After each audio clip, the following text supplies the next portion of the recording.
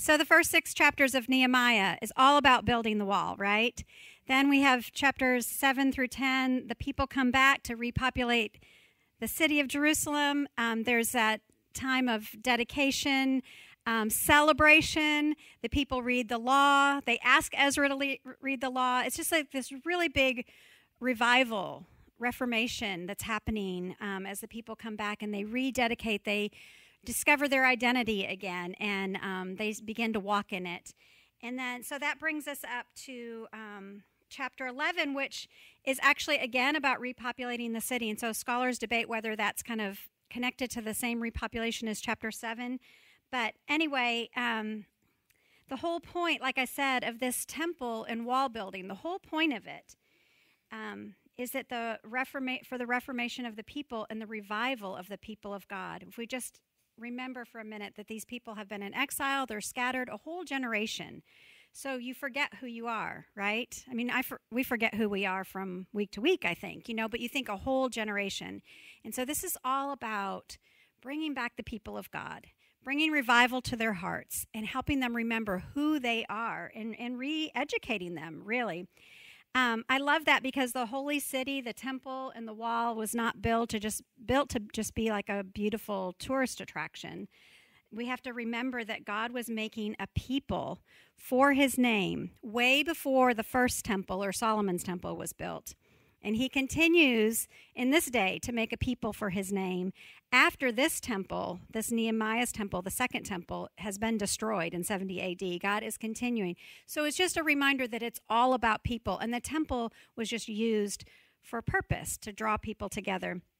Um, I love this is one of my favorite scriptures in First Peter um, 2 9 through 10. It's one of it's our actually our um, vision verse for our young adult life group. It says, "But you are a chosen people." This is this is Peter talking to us, new covenant believers. You are a chosen people, a royal priesthood, a holy nation, God's special possession, that you may declare the praises of him who called you out of darkness into his wonderful light. Once you were not a people. I love that. Like you weren't a people. You weren't even a people. And I think this is what God is doing in Nehemiah. He's like drawing people, he's drawing his people back together saying, But you are a people. Maybe you didn't feel like a people. And he speaks that same thing over us. Once you were not a people, but now you are the people of God. Once you had not received mercy, but you have received mercy. It's good news, isn't it? So the temple is just a means to achieve a goal. And the goal of God is a people transformed to reflect his glory and beauty. And I think we can see that when we look at the Euro- European cathedrals. Those, those were built with their like soaring um, arches and vaulted ceilings and stained glass. Those were all built not to be an ends, an end to themselves, but to point to the beauty and glory of God, right?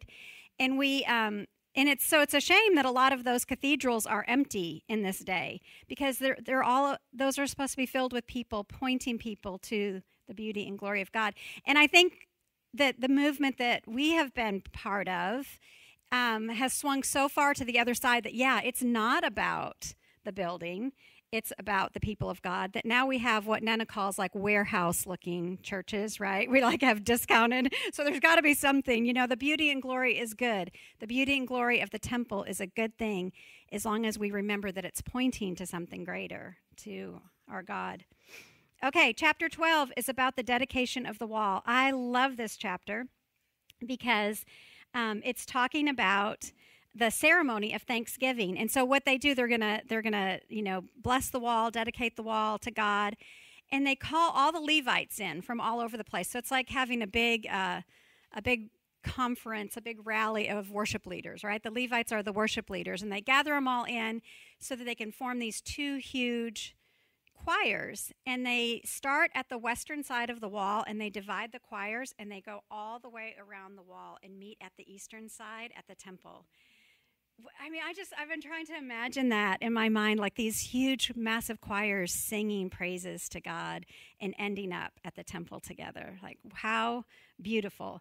Okay, so that's basically um, chapter 12, the national identity restored. I love this um, quote that I read that says, Walls don't just keep people out, but in ancient times, they set boundaries and gave identity to a city and its people. And I think that that, that they were having this identity crisis like who are we and god it sets up this this these boundaries for them to help restore their identity god does that i think for us like our who, knowing who we are it just I love this because we have to know who we are before we can actually bless other people, right? Or we're just operating out of this external something of trying to be good. But if we know we're beloved daughters of God, um, I think that the His love flows out of us a whole lot easier. And He's just reminding His people, this is who you are, because the plan is still on for Israel to bless the nations, but they're not in any condition to bless the nations. They have to remember who they are and be gathered back in. All right, that takes us to chapter 13. It's really an anticlimactic ending if you got through it. And you know this dude, Tobiah? That in your life, but like they just keep tearing you down. That's really what Tobiah is doing. He's just tearing down. And this guy that was opposed, completely opposed to the building, now one of the priests has cleared out some of the storerooms in the temple where the where the provisions for the priest are supposed to be kept. And Tobiah, who didn't even want it all to be built, is like all cozied up in the rooms. Like he's made he's just made himself at home in the temple.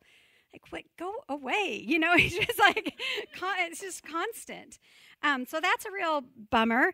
And then, um, you know, you see the priest like basically stealing from the temple to to help his buddy Tobiah. Um, there's the whole intermarriage thing, which, you know, again, just like re- helping re envision these people who they are. There was a real emphasis in um, national purity in Nehemiah that we know is not God's heart permanently, that that is a temporary thing to help them remember who they are.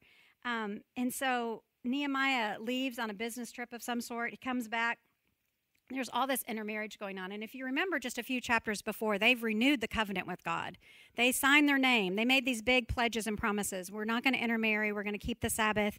But they do intermarry. It doesn't take very long for this just like kind of decline, decline to happen. And then there's Sabbath breaking. And then there is the lovely verse in verse uh, 1325. Nehemiah just absolutely loses it he starts beating people and pulling, ripping out their hair. You're like, wow. And that's the end of Nehemiah. so I just think like we just like, wow.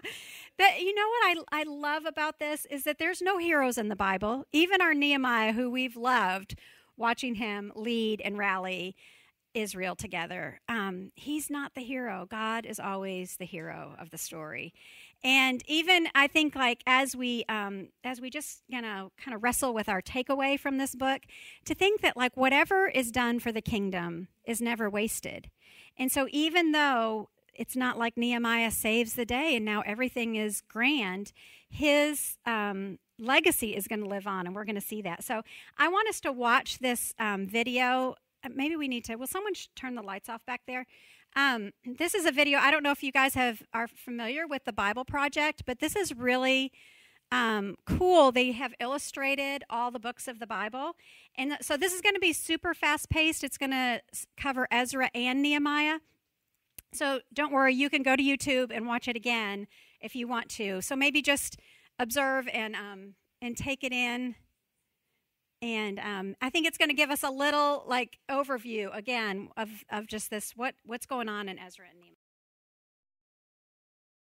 The books of Ezra and Nehemiah in most modern Bibles, these books are separate, but that division happened long after it was written. It was originally a unified work written by a single author.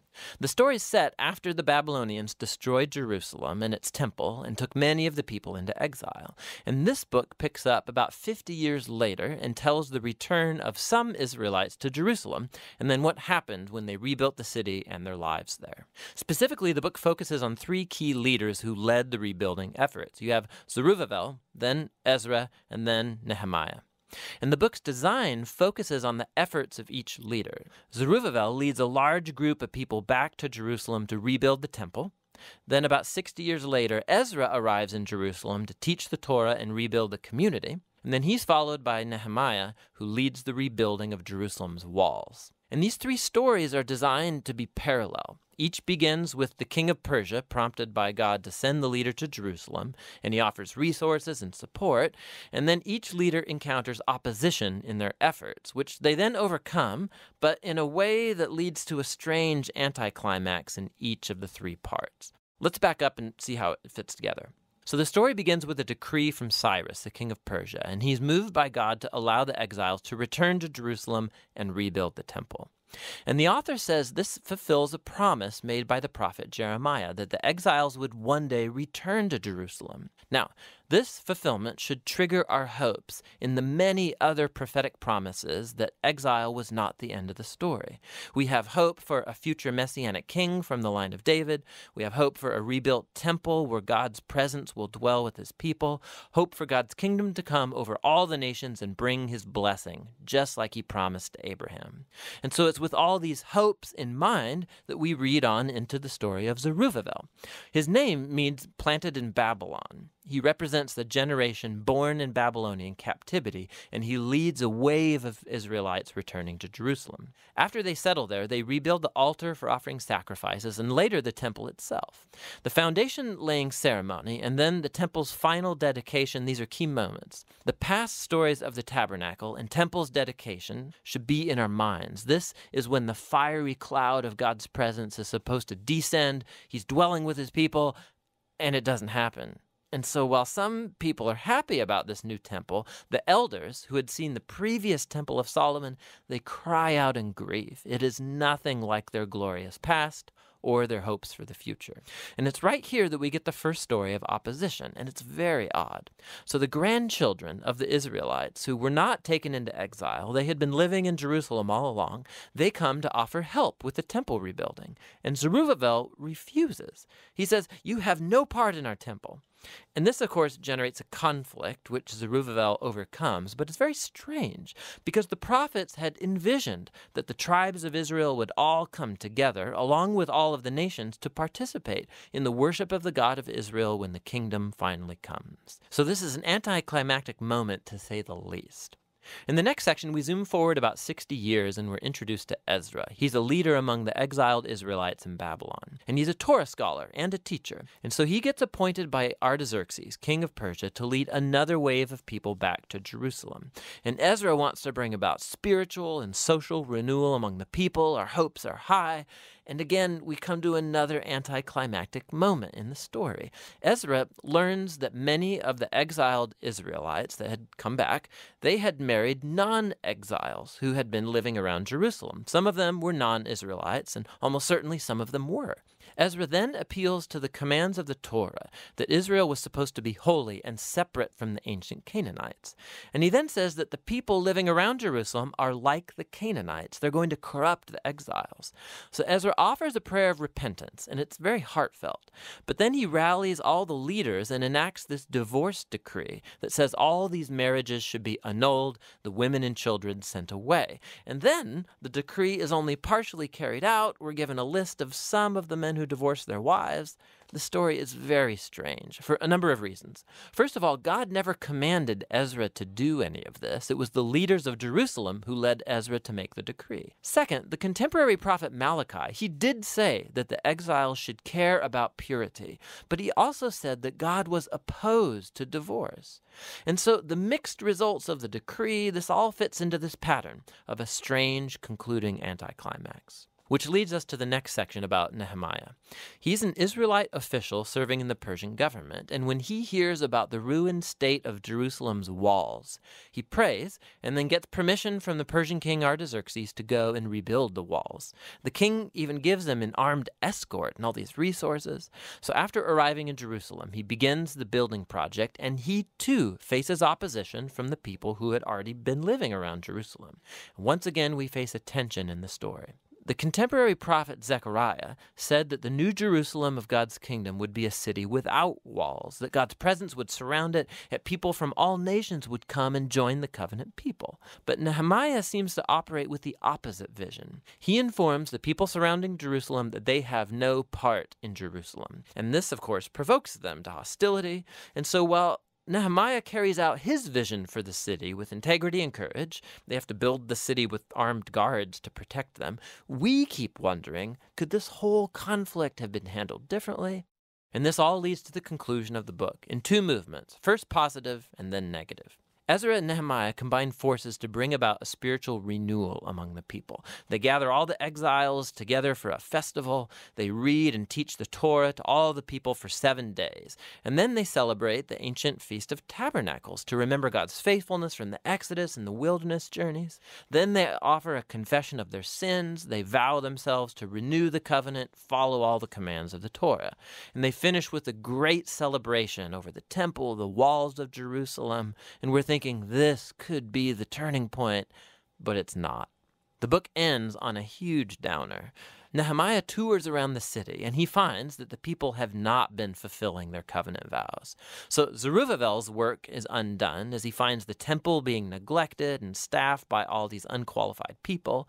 He then discovers that Ezra's work is being compromised. He finds everyone violating the Torah, people are working on the Sabbath, and even his own work on the walls is involved because people are setting up markets around the walls of Jerusalem and working on the Sabbath. So Nehemiah, he goes on a rampage He's beating people up, he's pulling out their hair, and he's yelling, Obey the commands of the Torah.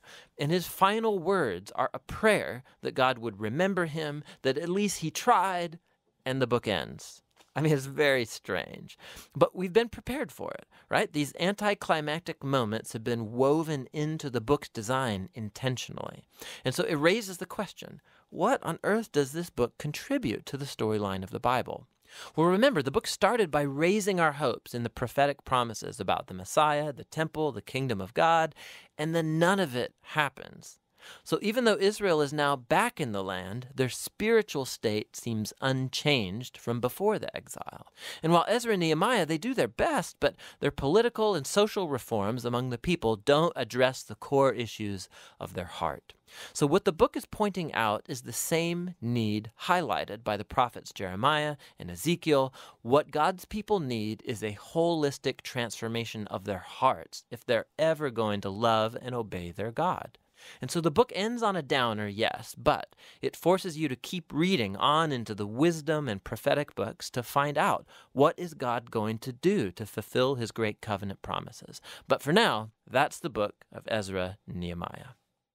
So, you know, he kind of asks the question so, what is the contribution of Ezra and Nehemiah? Because you're like, yes, there's all this reformation happening, this revival, and then the people seem to be back in their same old sin. And so, um, the cool thing is is like as i said earlier whatever we do that is kingdom building lasts forever. And i think that maybe one of be, is going to be one of my big takeaways is god calls us to obedience not to know exactly how things are going to turn out.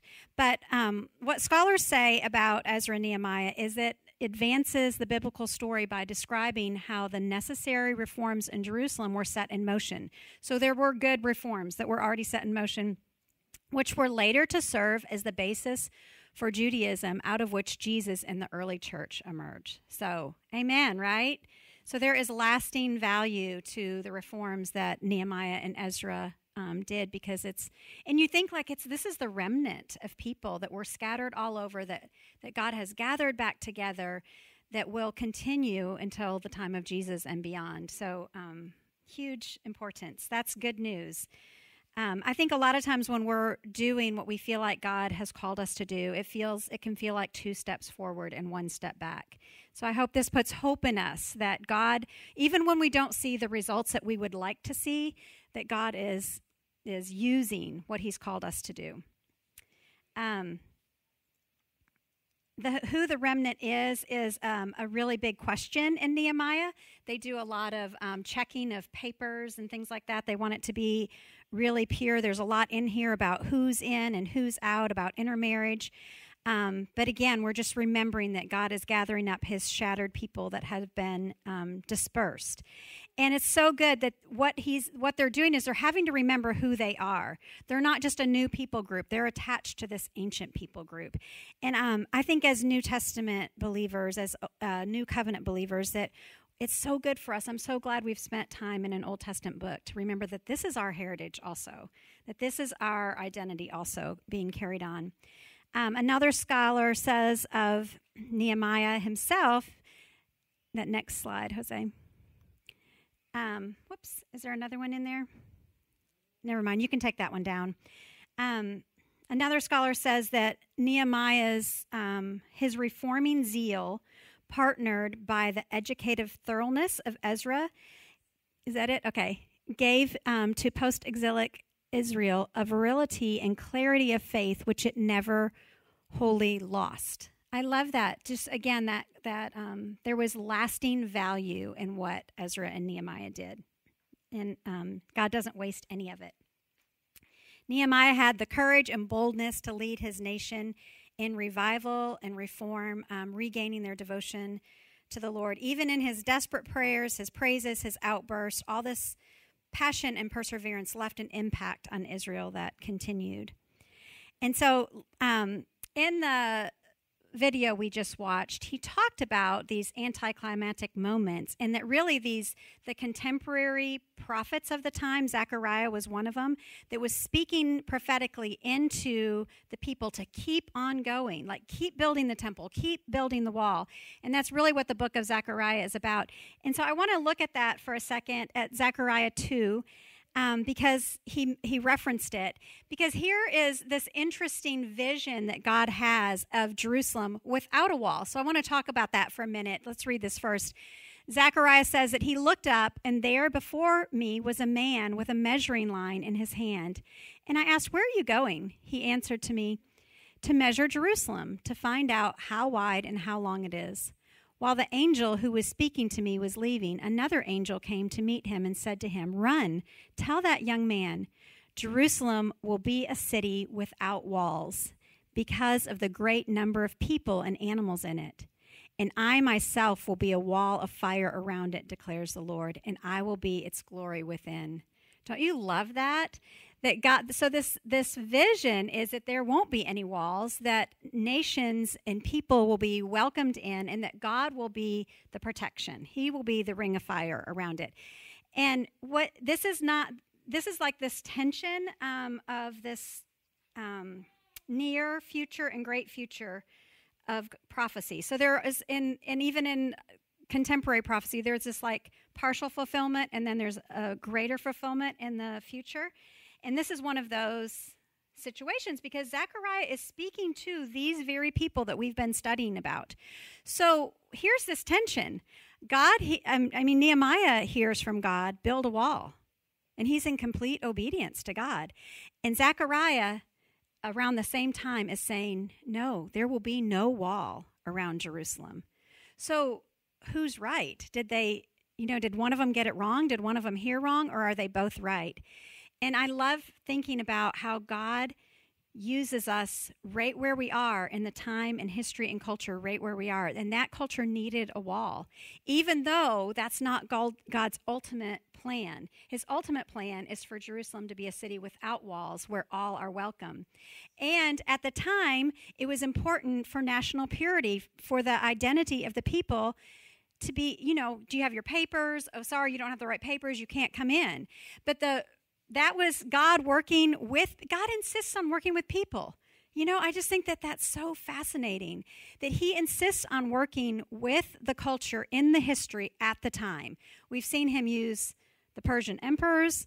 You know, he just, he's right there working with people. He doesn't zap people, he doesn't zap Jerusalem into place. We, we want him to do that, don't we? Especially with our rebellious kids, right? Could you just zap them?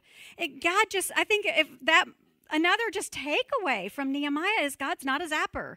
He is working, right? He's just working with what he has even, to get someday there. And it makes me wonder, like, what is God doing among us? Because we know what he wants to come back. And he says, when all nations hear.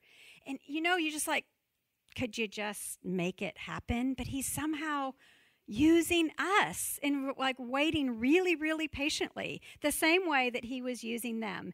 And so ultimately, we know that the new in the new heaven and the new earth, Jerusalem will have no walls. That every nation, and even now under the new covenant, every nation is welcome.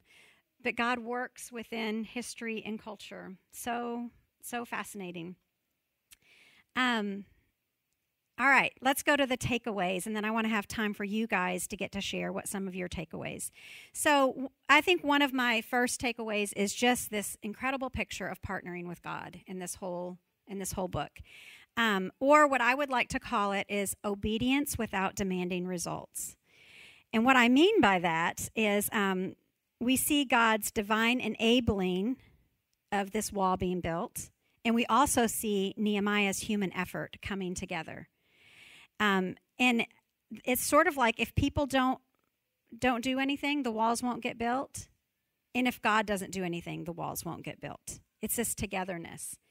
And sometimes I hear people say a lot of times, like, oh, it's just all God. It's just all God.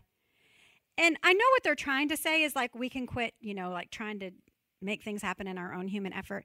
But I really think the biblical story is God with people, which is just amazing because he could just do it, you know, and not use people. But he does use us. And of course, we get ahead of him and try to do things in our own strength and our own effort all the time. But this, like, walking with God and partnering with him is just, I think, one of the most beautiful things about relationship with God that he values people enough to use people. And I, we've seen that clearly in Nehemiah. Um, this is this encourages me to listen to God's leading and obey what I hear. Uh, we have a part to play in building the kingdom, every one of us. Yes, women?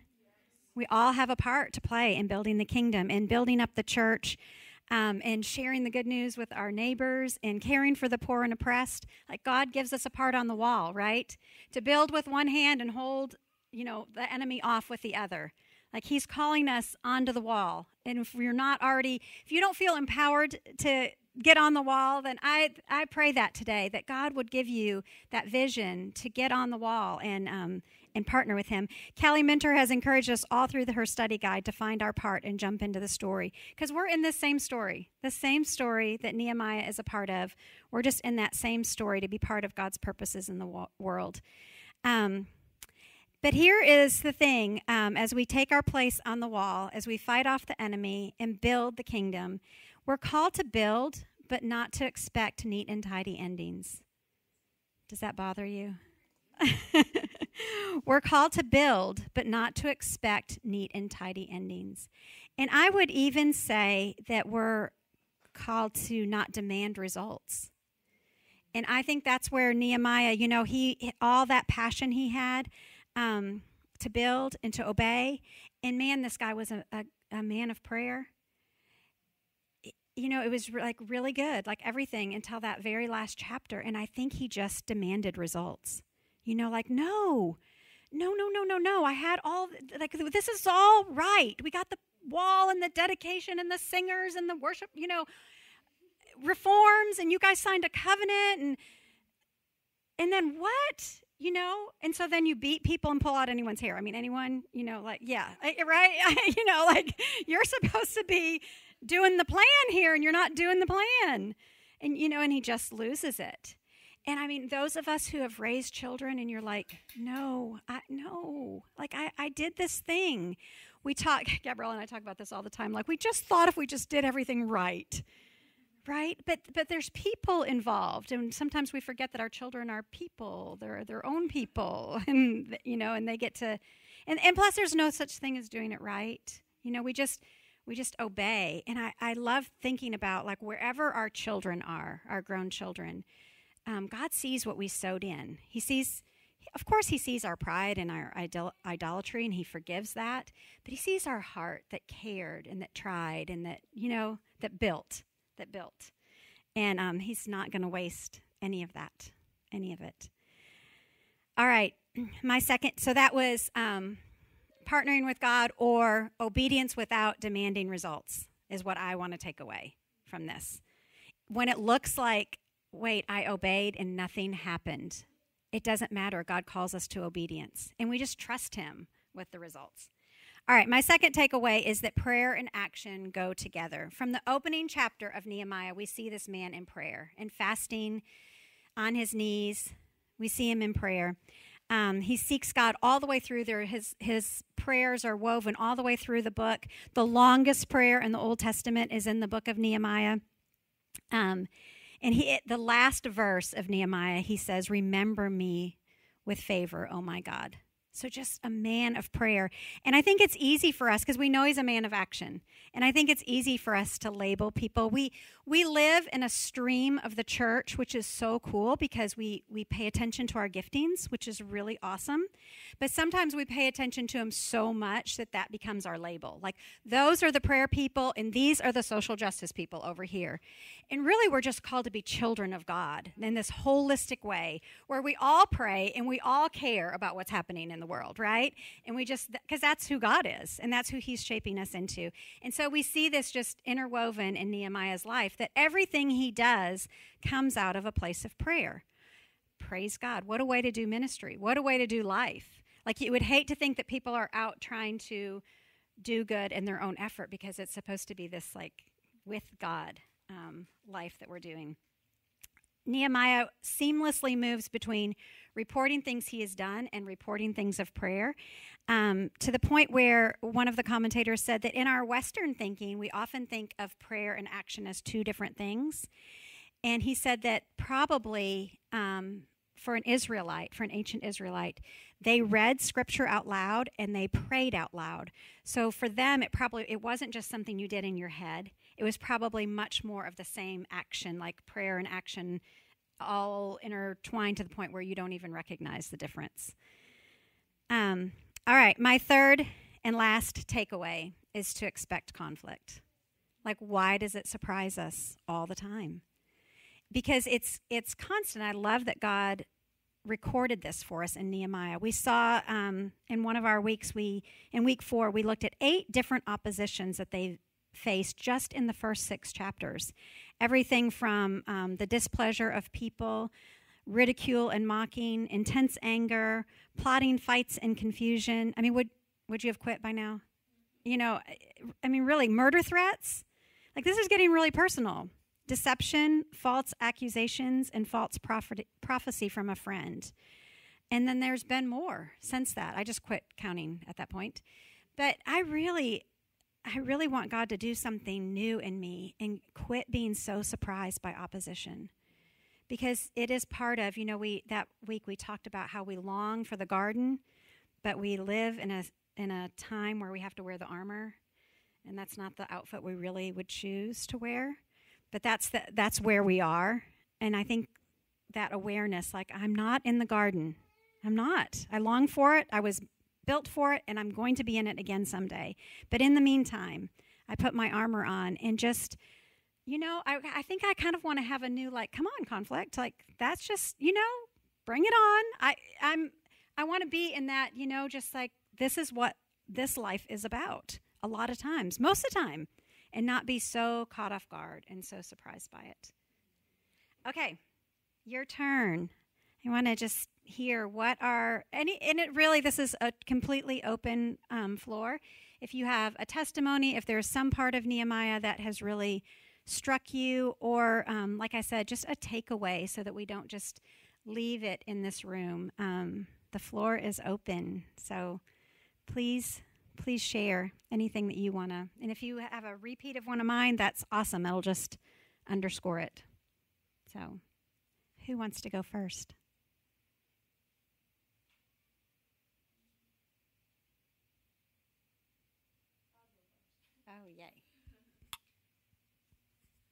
Um, I love their celebration that they were so intentional about that, just to praise God um, and actually take time out just to celebrate what He was doing in their midst. I feel like it's so important to do that. Um, and also just to remember, just His faithfulness just gives us hope, just for the present and also just for the future. And I also just love um, repentance um, and that confession that they just don't confess their sins, but they confess the character of God. Um, yeah, I need to confess his character more. So that was such a good reminder.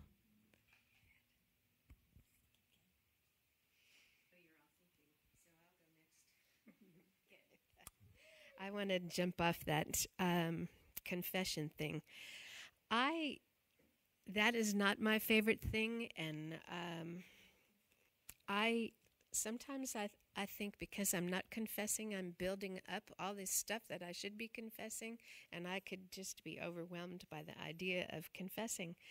But I liked how she uh, presented it about getting on God's page. And if I will just admit this, this has really helped me. If I will just admit and then confess who God is,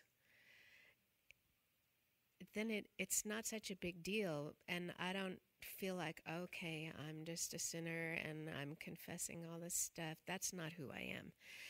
Um, but on the weaving it into when the people realized that after that big long prayer, they said, Please don't look at our suffering as trifling.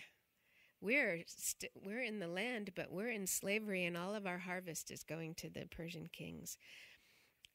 That coupled with confession, if I, when I realize that I'm not living in what God has for me to, to go after that. And confession is a is a part that weaves into that. But they they knew what God had for them and they didn't have it. And so that's a that's a new focus for me too. And I really appreciated how they used what God had said in their prayer this is this is who you are this is what you're doing this is what we're asking for so ag- agreeing with what God has for us and then going after what is missing in my life that he has for me. That's been that's been really huge. Let me see if there's anything else here. Oh. I th- after one of the chapters I thought, why can't I see God the Father as the perfect parent? Because I've had to reparent myself after I've had children just to get an idea of how much God loves me by how much I love my children. And God is, every family gets their name from God, the Father. And He is just the perfect parent. And don't you love how when God speaks to you, it has just the right tone? He is never just snooty or uppity or he doesn't make he never makes me feel bad. He's just really amazing. So I am trying to get this picture in my mind of God as the perfect parent that I would just love to go to him. Just as I hope my children uh, would love to come to me, you know, and so God is the perfect parent. Who's next?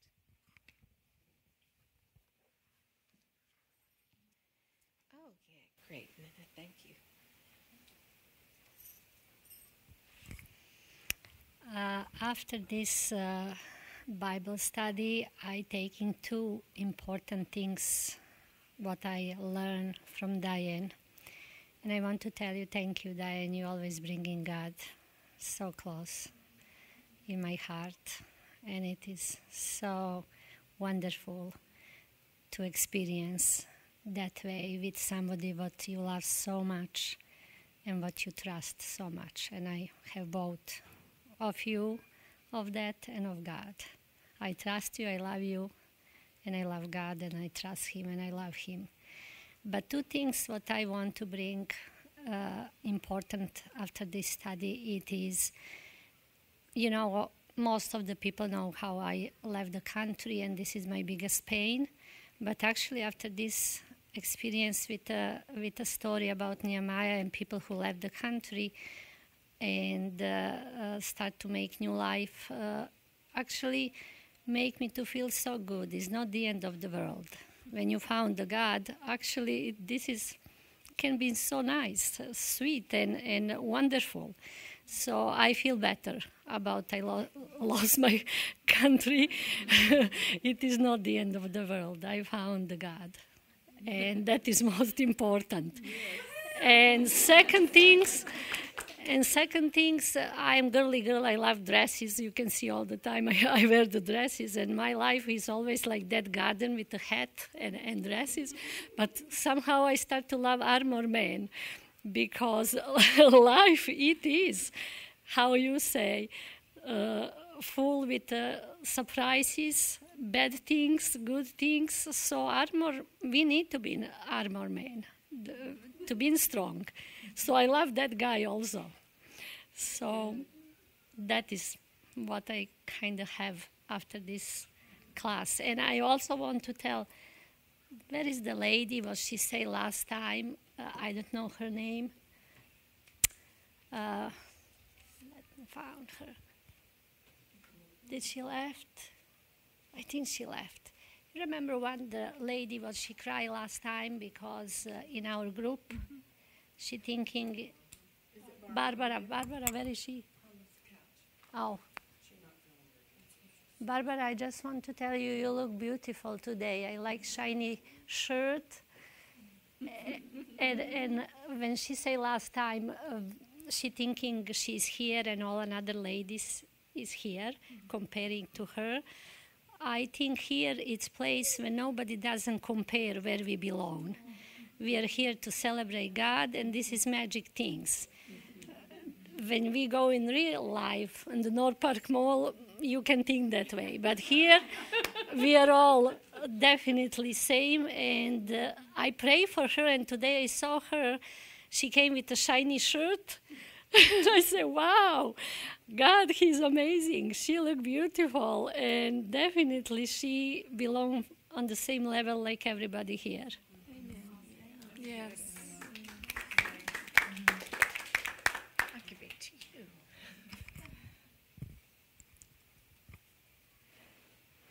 Okay, it's not sharing things, it's the microphone that's intimidating. oh no, don't tell Andy you want to get me one of these all the time. Um, okay, I, what's funny is I shared this at my table earlier because that was one of our. Okay. oh yeah, yeah. Um, oh goodness. Um, What's funny is um, I answered this question earlier at our, it was at our table, but I think I'll answer it a little differently this time because there's probably so many things that I could take away.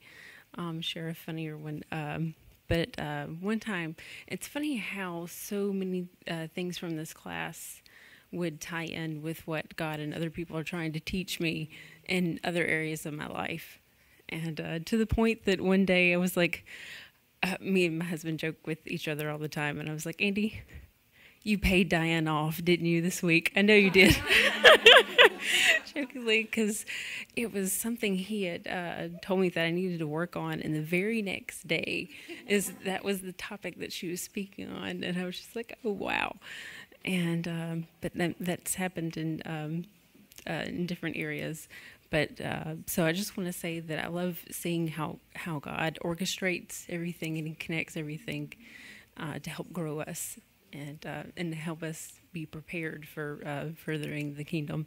Because in our eyes, we'll never be uh, you know completely prepared, but uh, but He's always working on us and through us.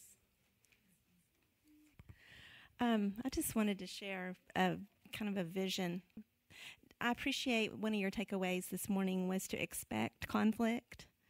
That's my least favorite takeaway. but I'm it's so true. it's so good. And um, I think for me, I I think a takeaway from that is similar. Is it's just expect struggle was kind of my takeaway. Expect expect struggle. And I was sharing with our table that I've always struggled with struggle. I just don't want to struggle. I just I don't want to expect it because that means somehow I'm going to accept the fact when it comes and who wants to accept that? So I've really been asking the Lord a lot about struggle and to just show me truth. And so I just wanted to share with you a vision that he gave me. Um, I'm I'm new to visions. When I came to this church, um, people began to tell me they were listening and asking God about their dreams and visions, and that was foreign to me. And I've always been a really active dreamer, so I'm just kind of now getting into this and and receiving from the Lord when He gives me a vision. So one night I woke up and he was, um, we were having a conversation really during the night. And I said, Lord, I, I really need a, a picture of struggle and, and the and why struggle and joy go together. I don't understand this. And so this is this will be more meaningful to me, I know, than y'all, but um, he gave me a vision of uh, I I have a habit at night of before I go to bed, I put on lotion and I usually put on some sort of chapstick or something. Well, silly me, I'm always putting on the lotion first, and then when I get ready to pull the cap off the chapstick, I can't do it because I put on my lotion first. And so I'm like, why do I do this? I'm, I'm 55 years old. I should have this down by now. And so, um, so I've, that's happened several times, or, or I'll get ready to open up a door, and I can't do it because I'm all lotioned up. And so he said, so this is the visual. He said, You know how you're always trying to open a door when your hands are all oiled up? And he said, Well, you know, Dana, um, she's getting some credit here. Dana and I have talked a lot about the, the cup of suffering and the oil of joy. All right, and so I already had that going through my head. And he said, You know, when you get ready to open a door and you're all lotioned up with the oil, he said, You can't do it. You have to wipe it off. There has to be friction there. There has to be friction with your hand in order to open up this door. He says, Sometimes there has to be struggle before you can open up a door of truth that I'm trying to tell you. And he said, I, that struggle has to be there. And when the struggle has occurred and that door of truth gets opened up, then you'll get to have that oil of joy. We'll, we'll, we'll oil you up. And, uh, and so I just wanted to share that with you because I thought that was a beautiful picture of the oil, I mean, of the struggle and the joy going together. So I'm trying to get there where I'll accept that struggle easier. And having that picture kind of helps me remember that God is often opening up a truth that that's the only way we'll get it. Uh, if we have to have that friction there, it has to happen. So, my favorite takeaway is remembering each day that the joy of the Lord is my strength One of my favorite verses was right out of week one or week two. I don't know, whatever reason I was at that time, and it has stayed with me, and it says, Your, lo- your loyal love consoles me because you have promised that to your servant. And I that has just stayed with me, and so I love the book of Nehemiah, and thank you so much, Diann. I think the having a heart that breaks is, um, you know, and that heart of compassion is what has really spoken to me because I'm more comfortable with, I have a passion for truth, and I'm mad. I'm mad about the lies that are being told, especially to our children. I'm mad about the world that they're growing up in. I'm mad about so many things. And I'm really comfortable with mad you know. But the root of that is that I'm grieved and my heart breaks, you know, because I feel like so much is being stolen from our children and the chil- you know God's children. And um, so this was a huge reminder to me to stay in touch with the fact that it is it is the grief you know that that what i feel that that i'm more comfortable expressing as anger or taking a political stance or you know stomping my foot and banging on the table you know is really this this grieving and and to be sure that when i express it out in the world that i don't just come across as some you know another screaming head you know but that i that i really allow my heart, my broken heart to be seen. Yay! That was really good. Thank you for sharing. Um, and I just want us to remember that we are strong, beautiful, loved women of God. We're strong. And out of that place, I love that Jan ended us on that note because I think like a heart of compassion is so is so God's heart and so much more beautiful than whatever the take a stand for truth. You know that because that will move us to care for people. Where I think that the anger and taking a stand can just cause us to, you know, push back. So thank you for that. Let me Pray for us. Father, thank you so much for this time together, for this group of women. Thank you for taking us on a journey, Lord. And Father, um, thank you just for these things that you have deposited in us and the way you've opened our eyes. And I just pray that you would seal those things in us, Lord, whether it's wearing the armor or having a heart of compassion. Um, Father, just seal those things in us. And I long for the New Jerusalem with no walls, God. We long for that, for your glorious city. Um, and God, we make us people that are um, sharing your good news with whoever you put in our path so that lots and lots and lots of people will be gathered um, in the New Jerusalem together. We love you, Lord. Amen.